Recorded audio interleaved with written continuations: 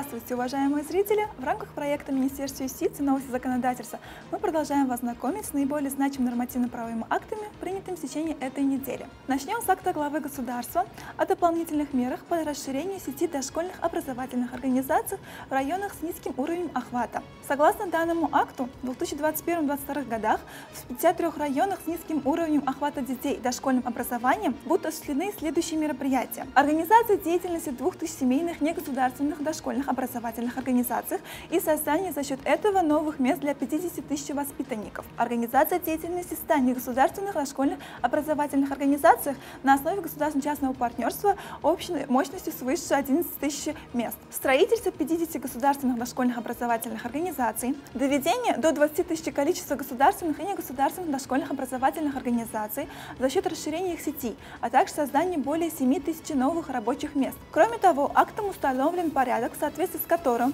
начиная с 1 июля 2021 года, семейным негосударственным дошкольно-образовательным организациям разрешается воспитывать до 50 детей в зависимости от действующей мощности и нанимать до 4 воспитателей и помощников, исходя из числа воспитанников. Воспитателям и помощникам, нанятым на работу семейным негосударственными дошкольно-образовательными организациями за счет средств государственного бюджета выплачивается заработная плата на условиях и в размере эквивалентных оплате труда, установленных для краткосрочных или 9-часовых государственных дошкольных образовательных организаций по соответствующей категории. Семейным негосударственным дошкольно-образовательным организациям бесплатно обеспечивается учебными материалами через территориальное управление дошкольного образования. На срок до 1 января 2022 года семейным негосударственным дошкольно-образовательным организациям выделяются кредиты в размере до 30 миллионов суммов сроком на 3 года, включая льготный период 6 месяцев по ставке 5% на приобретение мебели, инвентаря и оборудования. Также данным постановлением установлено, что начиная с 1 июля 2021 года выделяются кредиты сроком на 7 лет, включая двухлетний льготный период по 5% ставке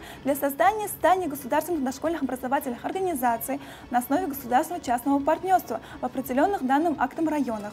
На каждого воспитываемого ребенка за счет государственного бюджета выплачивают субсидии в размере 75% от суммы расходов, затрачиваемых на одного воспитанника государственных дошкольно-образовательных организаций. На каждого воспитываемого ребенка из семей, исключенных Йошлар Дафтара, Темер Дафтара, Айоллар за счет средств фондов, указанных в тетради, выплачивается субсидия в размере 25% от суммы расходов, затрачиваемые на одного воспитанника государственных дошкольных образовательных организаций. Негосударственным дошкольно-образовательным организациям на основе государственно-частного партнерства выплачивается ежемесячная компенсация в размере 50% от стоимости потребления электрической энергии и природного газа. На срок до 1 января 2022 года продлевается льготный период по ранее выданным кредитам на создание в 2018-2019 годах негосударственных дошкольных образовательных организаций в соответствии с соглашением о государственном частном партнерстве.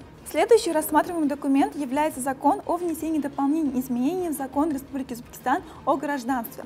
Согласно изменениям, закон о гражданстве Республики Узбекистан был дополнен определением понятия идентификационная карта, то есть ID-карта. Кроме того, лицо, зарегистрированное по месту постоянного проживания в Республике Узбекистан до 1 января 2005 года и ранее не состоявшее в гражданстве иностранного государства, при изъявлении желания признается гражданином Республики Узбекистан. Также ребенок, один из родителей или одинокий родитель которого признан гражданином Республики Узбекистан, не принявший гражданство иностранного государства и проживающий в Республике Узбекистан. При изъявлении желания признается гражданином Республики Узбекистан. Теперь, при отсутствии документов, подтверждающих факты признания гражданином Республики Узбекистан, данные факты могут быть установлены в судебном порядке. Документом, подтверждающим гражданство Республики Узбекистан ребенка, не достигшего возраста 16 лет, является свидетельство о рождении ребенка или справка при предъявлении паспорта, идентификационная карта или иного документа, содержащего указания на наличие у одного из родителей гражданства Республики Узбекистан. Свидетельство или справка о рождении при предъявлении предъявления вида на жительство Республики Узбекистан обоих родителей, являющихся лицами без гражданства. Еще один немаловажный документ является постановление президента о дополнительных мерах, направленных на развитие птицеводства и укрепление кормовой базы отрасли. Согласно постановлению, с 1 июня 2021 года птицефабрикам, плательщикам НДС будет выделяться субсидия в размере 50 суммов на каждое яйцо, выращенное на собственных фермах, и 1000 сумм на каждый килограмм мяса птицы. По кредитам, выделяемым коммерческими банками на срок до 1 1 января 2025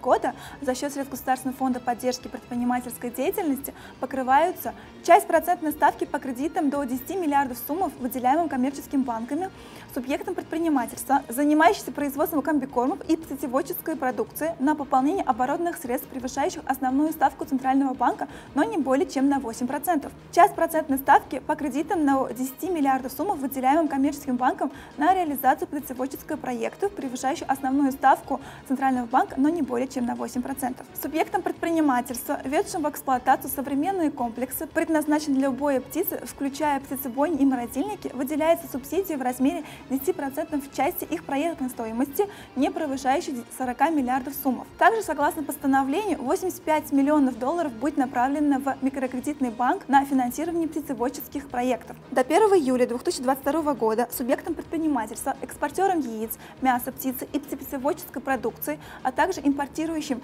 соевые бобы предоставляются субсидии на компенсацию до 50% расходов по перевозке автомобильных, железнодорожных и воздушным транспортом. Еще один немаловажный документ является указ президента о дополнительных мерах по обеспечению прозрачности деятельности государственных органов и организаций, а также эффективности реализации общественного контроля. Указом утвержден перечень социально значимых сведений, подлежащих размещению в открытом доступе всеми государственными органами и организациями. Согласно указу, государственные органы и организации ежегодно отчитываются о своей деятельности, то есть размещают информацию на своих сайтах до 1 марта, объявляет о публичном обсуждении до 10 марта, проводит пресс-конференции для обсуждения отчета широкой общественности до 1 апреля. С 1 июля 2021 года информация о ниже следующих будет размещаться на портале открытых данных и сайтах государственных органов и организаций и обновляться ежеквартально. Это значит осуществленные государственные закупки, расходы должностных лиц на командировки и прием гостей из-за рубежа, налоговые таможенные льготы и преференции в соответствии с указом президента,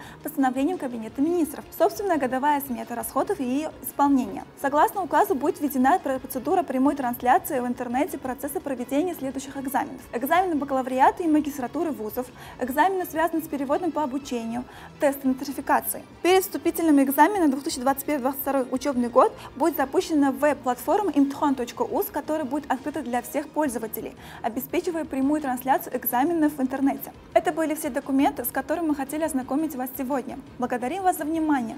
С полным текстом вышеуказанных актов вы можете ознакомиться на сайте lex.uz, а все новости законодательства узнавайте на нашем телеграм-канале «Права и информация».